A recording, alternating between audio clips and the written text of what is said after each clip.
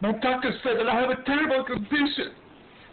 Oh, it's called being entertainer. Ah!